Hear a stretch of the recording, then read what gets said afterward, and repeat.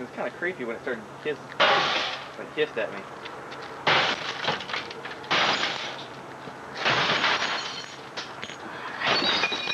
I hate it. I hate it. Can I take a swing at it? We killed the chief.